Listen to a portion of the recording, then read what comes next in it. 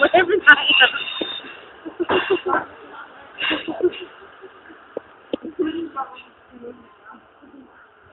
Cheeky sod. He's on camera so well.